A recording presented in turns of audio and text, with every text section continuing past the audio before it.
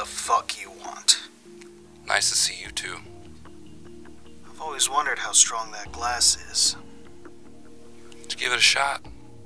Can't get any longer than life, right? Just you knock yourself out. What do you want? I want the truth. Now I know you weren't alone on that Alvarez girl. And I get the whole macho, I'm not gonna snitch bullshit. But I got another Indian girl that is missing.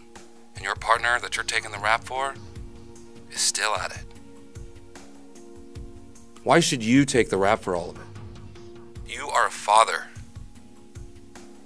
How many more parents' lives and hearts gotta be destroyed while you're just sitting here and rot? Come on, man. I can see that it's eating you up inside. Just tell me who it is. Please.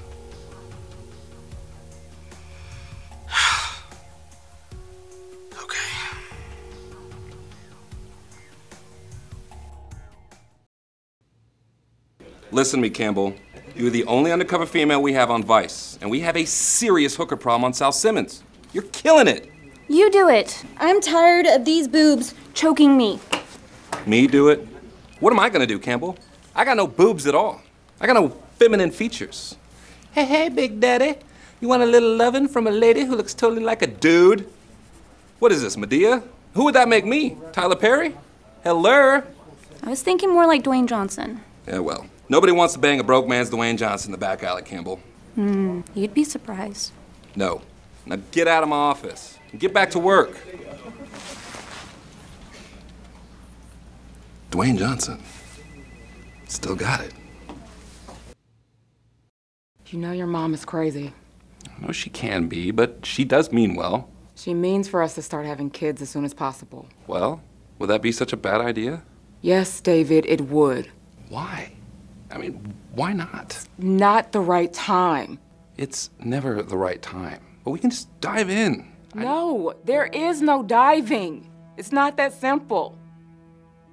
A kid is for life, David. Time and energy that neither of us has. A kid is not gonna fix us. Maybe for a time. But be realistic.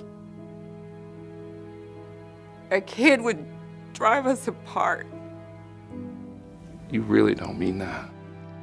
I do mean it. Let's not talk about this anymore. I'm tired.